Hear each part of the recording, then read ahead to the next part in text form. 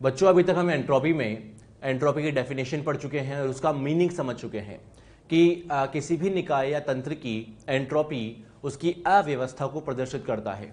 अगर किसी निकाय की अव्यवस्था अगर ज़्यादा होगा तो इसका एंट्रोपी भी क्या होगा? ज़्यादा। अगर उस निकाय की अव्यवस्था कम है तो एंट्रोपी क्या है बेटा? कम है। तो ये चीज़ें हम पढ़ चुके हैं। अब हमें यह सीखना है कि किसी निकाय के लिए एंट्रोपी में परिवर्तन की कैलकुलेशन हम किस प्रकार से करते हैं। तो जो टॉपिक हम स्टार्ट करने वाले हैं, उस टॉपिक का नाम है एंट्रोपी परिवर्तन की गणना, calculation of entropy change. Entropy में परिवर्तन अगर हमें निकालना है तो एक फॉर्मूला आपको याद करना होगा, और वो फॉर्मूला है डेल्टा एस बराबर क्यू रिवर्सिबल अपॉन टी। क्या फॉर्मूला है बेटा? डेल्टा एस बराबर क्यू रिवर्सिबल अपॉन टी सुनते जाना, समझते जाना, कई सारे डाउट अगर आपके मन में आए तो अपने मन में रखना। सारे डाउट में अपने आप क्लियर करता जाऊँगा। डेल्टा एस बराबर क्या है बेटा formula? Q reversible upon T Q reversible का मतलब होता है बेटा उत्क्रमणीय रूप से ऊष्मा का विनिमय। रिवर्सिबल का मतलब उत्क्रमणीय क्यू का मतलब ऊष्मा मतलब उत्क्रमणीय रूप से जो है ऊष्मा का विनिमय डिवाइडेड बाय क्या है बेटा? यहाँ पर ताप है। अगर इस फॉर्मूला की हेल्प से इस एंट्रोपी का हम मात्रक बताना चाहें तो क्या हो जाएगा? जूल पर कैलविन या फिर क्या हो जाएगा बेटा? कैलोरी पर कैलविन ये बात बहुत इंपॉर्टेंट है कि एंट्रोपी में परिवर्तन या एंट्रोपी का जो मात्रक है, उसमें हम ऊर्जा को डिवाइड करते हैं किससे बेटा? ताप से मतलब कैलोरी पर कैलविन या जूल पर कैलविन या कैलविन की जगह आप डिग्री सेल्सियस भी यूज़ कर सकते हैं। तो और हम क्या मात्रक यूज़ कर सकते हैं यहाँ पर? जूल पर डिग्री सेल्सियस या कैलोरी पर डिग्री सेल्सियस. क्लियर है बेटा ये वाली चीज़। अब इस फॉर्मूला का डेरिवेशन हमारे काम का नहीं है। ये इसका डेरिवेशन फिजिक्स से आता है। फिजिक्स में एक टॉपिक आता है। टॉपिक का नाम होता है बेटा कार्नोट चक्र। जो हमारे इस मूवमेंट पर कोई काम का नहीं है तो इसका डेरिवेशन हमारे बिल्कुल भी काम का नहीं है। बट हाँ ये फॉर्मूला अभी के अभी हमें याद करना है। इस फॉर्मूला में बहुत सारे लॉजिक छुपे हुए हैं। इस फॉर्मूला में बहुत सारे डाउट्स भी छुपे हुए हैं। हो सकता है इस फॉर्मूला को देख करके आपको कुछ डाउट भी आए। चलिए, मैं वन बाय वन चीज़ों को समझाऊँगा, ध्यान से सुनते रहना। सबसे पहला डाउट जो बच्चों को आता है यहाँ पर, वो ये है कि डेल्टा एस जो है, वो ताप के विक्रमानुपाती है। हमने तो पढ़ा था कि किसी भी निकाय का ताप बढ़ाने पर उसकी एंट्रोपी बढ़ती है और ताप कम करने पर एंट्रोपी क्या होता है बेटा? कम होता है। ये हम ऑलरेडी पढ़ चुके हैं। तो इसका मतलब क्या है? What is the meaning of delta S inversely proportional to temperature delta S का मान ताप के विक्रमानुपाती है, इसका फील क्या है? इसका लॉजिक क्या है? चलिए इस बात को मैं समझाने के लिए एक एग्ज़ाम्पल लूँगा। मान लीजिए हमारे पास में एक निकाय है। मान लीजिए हमारे पास में एक निकाय है और इस निकाय में मान लीजिए गैस है, चलिए, और इस गैस का ताप मान लेते हैं दस डिग्री सेल्सियस है। कितना ताप है बेटा इसका? दस डिग्री सेल्सियस। और इस निकाय को हमने कुछ ऊष्मा को, इसको मैंने कुछ ऊष्मा दिया और ऊष्मा को लेकर के इसने अपना ताप बढ़ा लिया और अब नया ताप हो गया कितना बेटा? 20 डिग्री सेल्सियस। मैंने इस निकाय को ऊष्मा दिया, ऊष्मा को खाकर के इस निकाय ने अपने ताप को बढ़ा दिया। मुझे बताइए, निकाय को अगर हमने ऊष्मा दिया, अगर उसका ताप बढ़ गया तो लॉजिकली एंट्रोपी बढ़ेगा या कम होगा? बढ़ेगा। सिंपल सी बात है, ताप बढ़ेगा तो एंट्रोपी क्या होगा बेटा? बढ़ेगा। मान लीजिए हमारे पास एक और निकाय है और उस निकाय का ताप मान लेते हैं, इस बार 100 डिग्री सेल्सियस है। वही निकाय, सेम निकाय है, बस अंतर इतना है कि वहाँ ताप 10 डिग्री सेल्सियस था, इस बार ताप मैंने कितना मान लिया बेटा 100 डिग्री सेल्सियस। अगर 100 डिग्री सेल्सियस वाले निकाय को भी मैंने इतनी ही ऊष्मा दिया, अगर वहाँ 10 जूल दिया तो यहाँ पर भी 10 जूल ही दिया। सेम अमाउंट ऑफ़ ऊष्मा दिया, समान ऊष्मा हमने इसको दिया है। तो अब इस निकाय का ताप बढ़ के मान लेते हैं, हो गया 110 डिग्री सेल्सियस। पहले भी ताप में परिवर्तन कितना हुआ 10 बाद में भी ताप में परिवर्तन कितना हुआ 10 लेकिन हाँ ताप बढ़ गया तो बेटा एंट्रोपी भी क्या हो गया? बढ़ गया। जब भी ताप बढ़ेगा तो एंट्रोपी बढ़ेगा, इसमें कोई बात नहीं है। तो हमने दो केस लिए। जो फ़र्स्ट केस है और जो सेकेंड केस है, अब इन दोनों पर फोकस करना। इन दोनों में से मुझे बताइए, इन दोनों में से केवल इन दोनों बॉक्स पर फोकस करना। इन दोनों में से कौन सा निकाय ज़्यादा एंट्रोपी पर होगा? सीधी सी बात है, क्योंकि दूसरा निकाय पहले ही ज़्यादा ताप पर है मतलब ये जो सेकंड वाला निकाय है, ये पहले से ही अधिक एंट्रोपी पर है। अगर पहले से ही अधिक एंट्रोपी पर है तो इसमें एंट्रोपी में परिवर्तन ज़्यादा नहीं हो पाएगा। आ रही है बात समझ में? जबकि जो पहला वाला निकाय है उसका एंट्रोपी बहुत बहुत कम है क्योंकि उसका ताप कम है। अगर उसका एंट्रोपी कम है तो उसमें एंट्रोपी परिवर्तन क्या होगा बेटा? ज़्यादा होगा। वे सिंपल सा एग्ज़ाम्पल है। मान लीजिए हम आ, किसी एक आ, एक बहुत बड़े आ, बड़े अमीर इंसान की हम बात कर रहे हैं यहाँ पर कि मान लीजिए हमारे पास मुकेश अंबानी जी हैं। उनको हमने मान लीजिए दस रुपए दिए। अगर उनको हमने दस रुपये दिए उनको हमने दस रुपये दिए तो हाँ उनकी अमीरी बढ़ेगी लेकिन वो अमीरी बहुत ज़्यादा नहीं बढ़ पाएगी। सिमिलरली अगर हमने गरीब आदमी को दस रुपए दिए तो हाँ उसकी अमीरी रिलेटिवली ज़्यादा बढ़ेगी। कहने का मतलब अमीरी तो दोनों की बड़ी है एंट्रोपी दोनों की बड़ी है, लेकिन एंट्रोपी में परिवर्तन ज़्यादा किसके लिए होगा बेटा? उसके लिए एंट्रोपी में परिवर्तन ज़्यादा होगा, जिसके लिए बेटा एंट्रोपी पहले से ही कम थी, जिसका ताप पहले से ही कम था। रिज़ल्ट क्या है बेटा यहाँ पर? रिज़ल्ट यह है कि दोनों का ही एंट्रोपी बढ़ेगा, लेकिन पहले वाले का एंट्रोपी में राइज या एंट्रोपी में वृद्धि क्या होगी बेटा? ज़्यादा होगी। यानी कि उस निकाय के लिए एंट्रोपी में परिवर्तन ज़्यादा होगा, जिसका ताप क्या होगा? कम। मैं वापस समझा रहा हूँ, मैं वापस इस सेंटेंस को बोल रहा हूँ। उस निकाय के लिए एंट्रोपी में वृद्धि ज़्यादा होगी, जिसका ताप क्या होगा बेटा? कम होगा। वैसे ये बात हमारे कहीं काम नहीं आने वाली बट फिर भी एक डाउट आता है क्यूरियोसिटी होती है मन में। उस क्यूरियोसिटी को मैंने सॉल्व किया। हमने ये कहा, ये एंट्रोपी नहीं है, ये एंट्रोपी में वृद्धि है या एंट्रोपी में परिवर्तन है। एंट्रोपी में वृद्धि उसके लिए ज़्यादा होगी जिसका ताप क्या होगा बेटा? कम होगा। कब? जब दोनों निकाय को हमने बराबर ऊष्मा दिया। क्यू का मान समान है। क्यू का मान दोनों में समान है। उसके लिए एंट्रोपी वृद्धि ज़्यादा होगा जिसका ताप क्या होगा बेटा? कम होगा। अंडरस्टूड है वाली चीज़? अब दूसरा डाउट आता है कि सर यहाँ पर आ, हमने ऊष्मा को रिवर्सिबल ही लिया उत्क्रमणीय ही लिया। अनुत्क्रमणीय में क्या दिक्कत है? देखिए इसका आंसर ये है कि मैंने आपको पढ़ाया था कि दो प्रकार के प्रक्रम होते हैं। एक तो होता है बेटा उत्क्रमणीय। चलिए पहले मैं बात कर रहा हूँ यहाँ पर अनुत्क्रमणीय की। अनुत्क्रमणीय। मान लीजिए हमारे पास में एक निकाय है और निकाय में गैस भरी हुई है। क्या भरी है बेटा? गैस। और इस गैस को हमने ऊष्मा सप्लाई किया। इस गैस को मैंने ऊष्मा दिया। अगर अनुत्क्रमणीय रूप से मैंने इसको ऊष्मा दिया अगर अनुत्क्रमणीय रूप से ऊष्मा दिया, हम जानते हैं अनुत्क्रमणीय प्रक्रम जो होते हैं, वो बहुत तीव्र प्रक्रम होते हैं। कैसे होते हैं बेटा? बहुत तीव्र प्रक्रम। अगर बहुत तेज़ी से मैंने इसको ऊष्मा दिया, एकदम में ऊष्मा आई, होगा ये कि यहाँ यहाँ के जो अणु होंगे उनकी एंट्रोपी बहुत भयंकर बढ़ जाएगी, लेकिन बाद वाले मॉलिक्यूल की या बाद वाले अणुओं की एंट्रोपी बढ़ ही नहीं पाएगी, क्योंकि एकदम में ऊष्माई बहुत तीव्र प्रक्रम था। इस प्रकार के निकाय का यहाँ यहाँ तो ताप बहुत ज़्यादा बढ़ गया, यहाँ यहाँ ताप बहुत ज़्यादा नहीं बढ़ पाया। कहने का मतलब सिस्टम यानी कि निकाय जो है, वो नॉन यूनिफॉर्म है। मतलब सभी अणुओं का ताप समान नहीं है तो हम किस किस अणु का ताप मापेंगे, ये हमारे लिए संभव नहीं है। बात इतनी सी है कि हमें इस निकाय को जो ऊष्मा देनी होगी, वो कैसे देनी होगी बेटा? उत्क्रमणीय रूप से देनी होगी। अगर उत्क्रमणीय रूप से ऊष्मा हम देंगे तो सभी यानी कि अगर हम उसे बिल्कुल धीमे धीमे अगर ऊष्मा देंगे, धीमे धीमे ऊष्मा देने से फ़ायदा क्या होगा?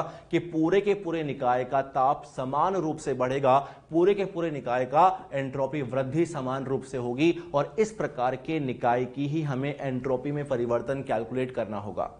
आ रही है बात समझ में? क्योंकि हमारे को उत्क्रमणीय प्रक्रम लेना है।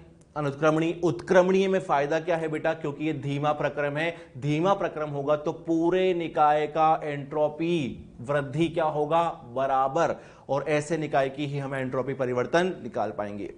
अंडरस्टूड है? चलिए, लेकिन हाँ बेटा ये कोई खास इंपॉर्टेंट बात नहीं है। हमारे को तो ये फॉर्मूला याद करना है। और फॉर्मूला क्या है? डेल्टा एस बराबर क्यू रिवर्सिबल अपॉन टी और इसका मात्रक शायद आप समझ चुके होंगे। अब हमें विभिन्न प्रक्रमों में एंट्रोपी परिवर्तन की गणना करनी है। सबसे पहले हम समतापी की बात करेंगे, सम आयतनी की बात करेंगे रुद्धोष्म की बात करेंगे। विभिन्न प्रक्रम हम लेंगे और विभिन्न प्रक्रमों में हम लोग जो है एंट्रोपी परिवर्तन की बात करेंगे। सबसे पहला प्रक्रम मैं लूँगा, उत्क्रमणीय समतापीय प्रक्रम। उत्क्रमणीय समतापी प्रक्रम की मैं बात कर रहा हूँ। चलिए, समतापीय प्रक्रम जैसे ही मैंने बोला, बेटा मैं एक बार यहाँ इसके सामने आ गया, एक बार सोचिए। कि समतापीय प्रक्रम के बारे में आप क्या क्या जानते हैं? हम समतापी प्रक्रम के बारे में ये जानते हैं कि उसमें ताप में परिवर्तन कितना होगा? ज़ीरो। डेल्टा ई कितना होगा? ज़ीरो। डेल्टा एच कितना होगा? ज़ीरो। और अगर डेल्टा ई ज़ीरो है तो क्यू बराबर माइनस डब्ल्यू भी होता है, आपको याद होना चाहिए। क्यू बराबर क्या होता है बेटा? माइनस डब्ल्यू और साथ ही साथ समतापीय प्रक्रम में पी वन वी वन बराबर पी टू वी टू भी होता है। तो ये सारी वो बातें हैं जो हम समतापीय प्रक्रम में पढ़ चुके हैं। चलिए, समतापीय प्रक्रम की मैं बात कर रहा हूँ। ऊष्मगतिकी के प्रथम नियम के अनुसार डेल्टा ई बराबर क्या होता है? क्यू प्लस डब्ल्यू अगर समतापीय प्रक्रम है तो डेल्टा ई कितना होगा? ज़ीरो डेल्टा ई कितना होगा बेटा? ज़ीरो अगर इस ज़ीरो को मैं यहाँ पुट कर दूँगा तो क्यू बराबर कितना आएगा बेटा? माइनस डब्ल्यू क्यू बराबर कितना आ गया? माइनस डब्ल्यू जो हम पहले से ही जानते हैं। क्योंकि हमने यहाँ पर उत्क्रमणीय प्रक्रम लिया है रिवर्सिबल प्रोसेस लिया है। इसलिए मैंने बोल दिया क्यू रिवर्सिबल बराबर क्या हो जाएगा? माइनस डब्ल्यू रिवर्सिबल और हम जानते हैं कि उत्क्रमणीय समतापीय प्रक्रम में कार्य का फॉर्मूला हमने कार्य का फॉर्मूला याद किया था, उत्क्रमणीय समतापी प्रक्रम में जो क्या होता है बेटा? Minus two point three zero three N R T log V two by V one बेटा, याद है ये वाला फॉर्मूला ये है उत्क्रमणीय समतापी प्रक्रम का फॉर्मूला। हमने ये भी याद किया था कि इस v2 टू बाई वी को रिप्लेस करके हम क्या लिख सकते हैं? P1 वन अपॉन पी चलिए तो मैंने क्या किया? यहाँ कार्य का फॉर्मूला रख दिया। ये माइनस और माइनस मिलके क्या हो जाएगा बेटा? प्लस हो जाएगा। यानी कि क्यू रिवर्सिबल बराबर क्या आ जाएगा? 2.303 point three zero three NRT log V two by V one अब हमें जो है, इस फॉर्मूला को यूज़ करना है डेल्टा एस बराबर क्यू रिवर्सिबल अपॉन टी को। डेल्टा एस बराबर क्यू रिवर्सिबल अपॉन टी में अगर हम ये क्यू का मान अगर पुट कर देंगे, क्यू का मान पुट कर देंगे तो ये फॉर्मूला डिवाइड बाय क्या आ जाएगा बेटा? टी आ जाएगा। यानी कि यहाँ पर एक टी से एक टी क्या हो पाएगा? कैंसिल। अगर ताप से ताप कैंसिल हो जाएगा तो उत्क्रमणीय समतापीय प्रक्रम में कार्य का फॉर्मूला क्या आ गया? 2.303 NRT log V two by V one या P one upon P two ये फॉर्मूला अभी के अभी आपको याद करना है। बेटा, मैं ये नहीं कह रहा हूँ कि आपको डेरिवेशन याद करना है। डेरिवेशन के केवल और केवल आपके स्कूल के पॉइंट ऑफ़ व्यू से है। अगर आपको कहीं पर सब्जेक्टिव आपको डेरिवेशन करना है तो हाँ बिल्कुल सही है। लेकिन क्योंकि हमारे नीट के पॉइंट ऑफ़ व्यू से तो डेरिवेशन कहीं काम नहीं आता। डेरिवेशन हमारे बिल्कुल भी काम का नहीं है। इस सी मूवमेंट पर आपको ये फॉर्मूला याद करना है। बल्कि मैं तो ये कहूँगा बेटा कि ये फॉर्मूला आप ना भी याद करें तो चलेगा, क्योंकि ये फॉर्मूला कार्य का जैसा ही तो है। हमने समतापीय उत्क्रमणीय प्रक्रम में कार्य का फॉर्मूला याद किया था। वो क्या था? Minus two point three zero three NRT log V two by V one बस उस फॉर्मूला में से हमें दो चीज़ों को हटाना है। वो दो चीज़ें कौन कौन सी हैं बेटा? माइनस और टी किसको इसको हटाना है बेटा? माइनस और टी को हटाना है। अगर माइनस और टी को हटा देंगे तो हाँ एंट्रोपी परिवर्तन का फॉर्मूला आ जाएगा। भाई, ये कार्य का फॉर्मूला है। और इस कार्य के फॉर्मूला में से आप क्या क्या हटा दो? माइनस और टी हटा दो, किसका फॉर्मूला आ जाएगा? एंट्रोपी परिवर्तन का फॉर्मूला आ जाएगा। मुझे तो ऐसे ही याद है और आपको भी ऐसे ही याद करना है। क्या याद करना है? समतापीय उत्क्रमणीय प्रक्रम में कार्य के फॉर्मूला में से माइनस हटा दो, टी हटा दो, क्या मिल जाएगा बेटा हमें? एंट्रोपी परिवर्तन मिल जाएगा। क्लियर है बेटा ये चीज़? अब जो सेकंड प्रक्रम है उसका नाम है उत्क्रमणीय सम आयतनिक प्रक्रम। हम जानते हैं बेटा, सम आयतनिक प्रक्रम में आयतन नियत रहता है। मतलब ना तो प्रसारण होगा और न ही संपीड़न होगा। तो कार्य का मान कितना होगा? ज़ीरो। अगर कार्य का मान ज़ीरो है तो ऊष्मा गतिकी के प्रथम नियम के अनुसार डेल्टा ई बराबर क्यू प्लस डब्ल्यू से डब्ल्यू का मान कितना पुट कर देंगे? ज़ीरो। इसका मतलब क्यू बराबर कितना हो जाएगा? डेल्टा ई इस क्यू को हमने यहाँ पर लिख दिया है क्यू रिवर्सिबल मतलब उत्क्रमणीय प्रक्रम में ऊष्मा का विनिमय बराबर क्या हो जाएगा? डेल्टा ई और हम जानते हैं कि नियत आयतन पर, नियत आयतन पर ऊष्मा क्या होता है? N C V delta T होता है।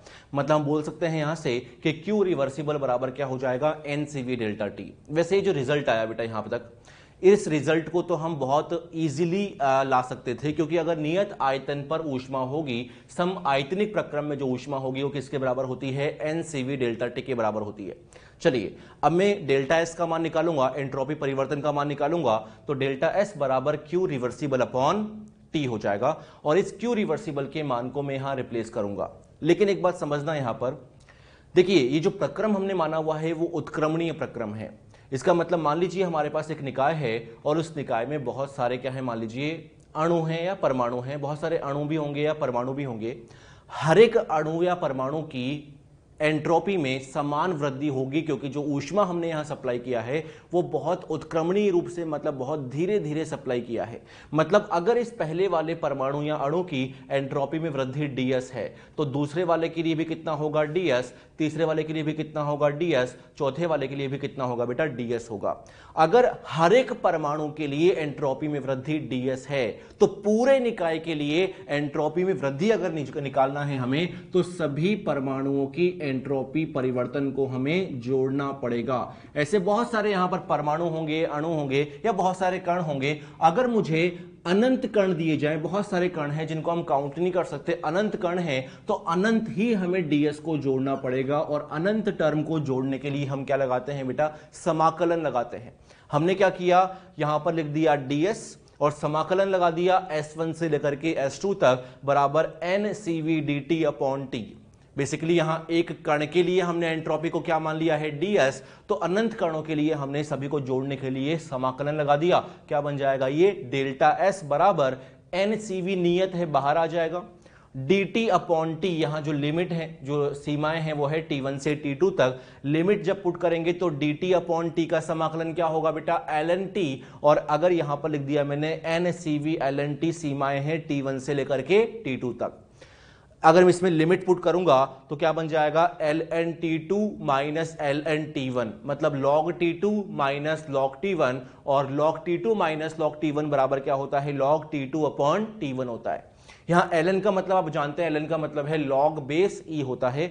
तो डेल्टा एस का फॉर्मूला क्या बन गया? N C V L N T two by T one अगर इस एल एन को या लॉग बेस ई को अगर हम लॉग बेस 10 में परिवर्तित करेंगे तो क्या बन जाएगा? डेल्टा एस बराबर 2.303 N C V log T two by T one आप जानते हैं यहाँ लॉग के बेस में अगर कुछ नहीं लिखा तो हम उसे क्या मानते हैं? बेस 10 मानते हैं। ये फॉर्मूला आपको याद करना है बेटा ये इंपॉर्टेंट है। रिसेंटली इस पर एम्स में से क्वेश्चन पूछा गया था। तो आ, हो सकता है अब नीट में भी पूछा जाए। तो इंपॉर्टेंट है ये वाला फॉर्मूला मैं ये कहूँगा मेरा सजेशन ये है कि आप इस प्रक्रम में डेरिवेशन पर बिल्कुल भी फोकस मत करना। कहीं काम नहीं आने वाली डेरिवेशन ये। आपको अल्टीमेटली ये फॉर्मूला याद करना है। अभी तक मैंने आपको दो प्रकार के प्रक्रम के बारे में बताया। एक का नाम था उत्क्रमणीय समतापी सप्तापिक प्रक्रम और दूसरा कौन सा है बेटा? उत्क्रमणीय सम आयतनिक प्रक्रम, जिसमें फॉर्मूला क्या आया है? डेल्टा एस बराबर two point three zero three N C V log T two by T one अब मैं जो थर्ड प्रक्रम की बात करूँगा, उसका नाम होगा बेटा सम उत्क्रमणीय समदाबीय प्रक्रम। कौन सा प्रक्रम है उत्क्रमणीय? समदाबीय प्रक्रम। ये वैसे बहुत कम इंपॉर्टेंस रखता है। आज तक इस पर से क्वेश्चन ना तो एम्स में आया है, ना ही नीट में आया है। हमें इसका फॉर्मूला ही डायरेक्टली याद रखना है। इसका डेरिवेशन मैं बिल्कुल नहीं करा रहा हूँ। कहीं काम नहीं आता और कहीं लिखा भी नहीं होता जनरली तो मैं तो ये कहूँगा कि इसका फॉर्मूला ही याद रख लो तो काफ़ी है। हाँ फॉर्मूला याद रखना बहुत इजी है। कैसे इजी है? जस्ट यहाँ पर सीवी आया था, यहाँ पर क्या आएगा? सीपी आएगा। अंतर इतना सा है। याद भी हो गया होगा। 2.303 N C V log T two by T one तो यहाँ क्या है? 2.303 point three zero three N C P log T two by T one ठीक है? चलिए, जो चौथा प्रक्रम है, उसका नाम है उत्क्रमणीय रुद्धोष्म प्रक्रम। चौथा प्रक्रम कौन सा है बेटा? उत्क्रमणीय रुद्धोष्म प्रक्रम और रुद्धोष्म प्रक्रम में हम जानते हैं कि ऊष्मा विनिमय कितना होता है? ज़ीरो। अगर उत्क्रमणीय रूप से रुद्धोष्म प्रक्रम है तो क्यू रिवर्सिबल बराबर कितना हो जाएगा? ज़ीरो। अगर हम फॉर्मूला यूज़ करें डेल्टा एस बराबर क्यू रिवर्सिबल अपॉन टी अगर क्यू रिवर्सिबल का मान मैं ज़ीरो रख दूँगा तो डेल्टा एस का मान कितना हो जाएगा? ज़ीरो। मैं कह सकता हूँ कि उत्क्रमणीय रुद्धोष्म प्रक्रम में एंट्रोपी का मान नियत रहता है। एंट्रोपी का मान नियत है, तभी तो डेल्टा एस का मान कितना है? ज़ीरो। इसीलिए क्योंकि यहाँ उत्क्रमणीय रुद्धोष प्रक्रम में एंट्रोपी नियत रहती है, समान रहती है, इसलिए इस प्रक्रम को हम बोलते हैं सम एंट्रोपिक प्रक्रम। क्या बोलते हैं? सम एंट्रोपिक प्रक्रम, जिसमें एंट्रोपी का मान समान रहेगा। ये इंपॉर्टेंट टर्म है। एग्ज़ाम में क्वेश्चन आ जाता है ये वाला कि निम्न में से सम एंट्रोपिक प्रक्रम है। ध्यान से सुनना ऑप्शंस को। क्या क्वेश्चन है पहले तो? निम्न में से सम एंट्रोपिक प्रक्रम है। तो समतापीय बोल दे, समदाबीय बोल दे सम आयतनिक बोल दे। और अगर एग्ज़ाम में ऑप्शन दिया हुआ है, उत्क्रमणीय रुद्धोष्म, अनुत्क्रमणीय रुद्धोष्म, बताइए, ज़्यादा सही ऑप्शन क्या है? आंसर क्या होगा आपके हिसाब से? बिल्कुल एग्जैक्टली आपको ये ध्यान देना है, उत्क्रमणीय रुद्धोष्म ही होना चाहिए। अनुत्क्रमणीय रुद्धोष्म अलाउड नहीं है, समतापी अलाउड नहीं है समदाबी अलाउड नहीं है, समायतनिक अलाउड नहीं है। केवल क्या अलाउड है बेटा यहाँ पर? उत्क्रमणीय रुद्धोष्म प्रक्रम ही अलाउड है। ठीक है क्या? चलिए, जो यहाँ पर पांचवा है, जो फिफ्थ केस हम डिस्कस कर रहे हैं, उसका नाम है रासायनिक अभिक्रिया। केमिकल रिएक्शन केमिकल रिएक्शन के लिए मैंने एक एग्ज़ाम्पल लिया, जैसे कि M one A plus M2B gives N1C M1 M2 और एन वन यहाँ रस समीकरण मिति है।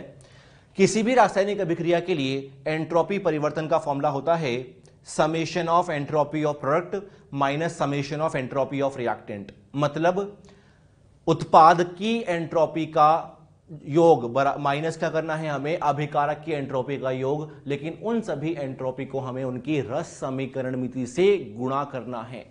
जैसे, अगर इस अभिक्रिया की मैं बात करूँगा तो इस अभिक्रिया में बेटा उत्पाद कौन है?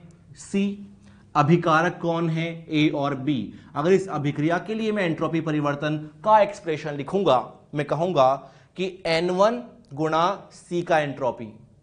एन वन समीकरण में इसे गुणा करना पड़ेगा। एन वन गुणा सी का एंट्रोपी माइनस अभिकारक के लिए एम वन गुणा ए का एंट्रोपी प्लस क्या होगा? एम टू गुणा बी का एंट्रोपी। कई बार ये फॉर्मूला काम आता रहेगा, इसे हमें याद करना है। कि किसी भी रासायनिक अभिक्रिया के लिए एंट्रोपी परिवर्तन बराबर, उत्पाद की एंट्रोपी माइनस अभिकारक की एंट्रोपी, उन्हें हमें गुणा करना होगा उनकी रस समीकरण मिति से। क्लियर है बेटा ये वाली चीज़? अब जो बेटा हमें लास्ट केस लेना है, वो है प्रावस्था पर रूपांतरण के दौरान एंट्रोपी में परिवर्तन। मतलब जब भी कोई फेस चेंज होगा, प्रावस्था परिवर्तित होगी मतलब ठोस का द्रव में परिवर्तन, द्रव का वाष्प में परिवर्तन इन परिवर्तन के दौरान कितना एंट्रोपी बढ़ेगा या कितना एंट्रोपी कम होगा, इस पर कैलकुलेशन हमें करनी है। बेटा, जब भी कोई प्रावस्था परिवर्तित होती है तो वह एक नियत ताप व दाप पर होती है। फॉर एग्ज़ाम्पल अगर मान लीजिए मैं बात करता हूँ कि यार एच लिक्विड जो है मतलब जल जो है, अगर उसकी वाष्प में परिवर्तित होगा एच गैस में परिवर्तित होगा तो इस प्रक्रम के दौरान, ये जो प्रक्रम है, ये हम जानते हैं 100 डिग्री सेल्सियस कॉमा एक एटीएम दाब पर मतलब एक निश्चित ताप व दाब पर होती है। और इस ताप व दाब पर हम जानते हैं, जो प्रक्रम होता है, कैसा होता है? उत्क्रमणीय प्रक्रम होता है। कैसा होता है बेटा? उत्क्रमणीय प्रक्रम होता है। और इस उत्क्रमणीय प्रक्रम के लिए हमें एंट्रोपी में परिवर्तन निकालना सीखना है। इसमें हम तीन केस लेने वाले हैं। पहला होगा गलन की एंट्रोपी, दूसरा होगा वाष्पीकरण की एंट्रोपी और तीसरा होगा ऊर्ध्वपातन की एंट्रोपी।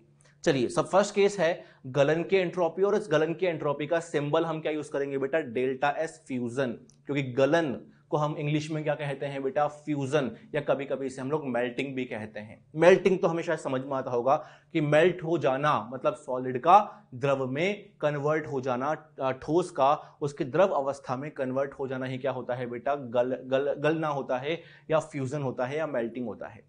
अब गलनांक क्या डेफिनेशन है इसका बेटा? गलनांक पर एक मोल ठोस का द्रव में परिवर्तन के दौरान एंट्रोपी में परिवर्तन ही क्या कहलाएगा बेटा? गलन की एंट्रोपी। मतलब यहाँ पर ठोस का कितना मोल होगा? एक मोल। और जब ठोस का एक मोल का उसके गलनांक पर अगर उसका गलन होगा तो जो एंट्रोपी में परिवर्तन है, वही क्या कहलाएगा बेटा? एंट्रोपी में परिवर्तन। चलिए, इसका फॉर्मूला हमें याद करना है कि डेल्टा एस फ्यूजन बराबर होता है delta H fusion upon T. इसमें कोई बड़ी बात नहीं है। देखो, सिंपल सी बात है कि अगर यहाँ पर जो भी ऊष्मा का आदान प्रदान होगा, उसको हम क्या लिख सकते हैं बेटा? डेल्टा एच लिख सकते हैं। हम जानते हैं ये जो प्रक्रम है, ये एक ऊष्मा शोषी प्रक्रम है। इसमें जो भी ऊष्मा अवशोषित होगी, वो क्या, किसके बराबर होगा बेटा? डेल्टा एच के बराबर। तो डेल्टा एच अपॉन क्या हो जाएगा? टी हो जाएगा। सेकंड केस हम लेने वाले हैं बेटा, वाष्पीकरण की एंट्रोपी। मतलब इस बार किसी भी लिक्विड का उसके वाष्प में रूपांतरण होगा। क्या डेफिनेशन हो जाएगा? हम यहाँ पर बोल सकते हैं कि क्वथनांक पर। कौन से ताप पर बेटा? क्वथनांक पर एक मोल द्रव का उसकी वाष्प अवस्था में परिवर्तन के दौरान एंट्रोपी में परिवर्तन ही क्या कहलाएगा बेटा? वाष्पीकरण की एंट्रोपी। और इसका सिंबल क्या हो जाएगा? Delta S vaporisation. इसका फॉर्मूला भी बिल्कुल सिमिलर ही है कि डेल्टा एस वेपोराइजेशन बराबर डेल्टा एच वेपोराइजेशन अपॉन क्या हो जाएगा? टेम्परेचर टी हो जाएगा। लास्ट केस कौन सा बचा है बेटा? ऊर्ध्वपातन की एंट्रोपी इंग्लिश में हम इसे बोलते हैं सबलिमेशन तो इसका सिंबल क्या हो जाएगा? डेल्टा एस सबलिमेशन ऊर्ध्वपातन की एंट्रोपी हम जानते हैं ऊर्ध्वपातन का मतलब कि ठोस डायरेक्टली किसमें बदलेगा बेटा? उसकी वाष्प अवस्था में बदलेगा। यानी कि एक मोल ठोस का किसी निश्चित ताप पर उसकी वाष्प अवस्था में रूपांतरित होने पर जो एंट्रोपी में परिवर्तन होगा, उसे ही हम क्या बोलेंगे बेटा? ऊर्ध्वपातन की एंट्रोपी। और सिंबल क्या हो जाएगा? डेल्टा एस सब्लिमेशन फॉर्मूला है, delta H sublimation upon T वैसे भले ही हमने इसको बहुत लंबा चौड़ा पढ़ लिया बट आपको केवल इतनी सी बात ध्यान रखनी है कि जब भी किसी भी पदार्थ का प्रावस्था रूपांतरण होगा तो हमेशा हमेशा एंट्रोपी में परिवर्तन बराबर क्या होगा? Delta H upon T, delta H upon T, delta H upon T. इसके अलावा और कुछ भी नहीं है यहाँ पर।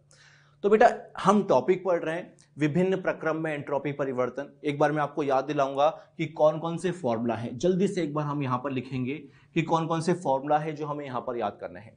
सबसे पहला प्रक्रम था बेटा, समतापीय प्रक्रम। समतापीय प्रक्रम समतापीय प्रक्रम में एंट्रोपी में परिवर्तन का फॉर्मूला। हमें याद नहीं करना जस्ट हमें रिलेट करना है। किससे रिलेट करना है? कार्य से।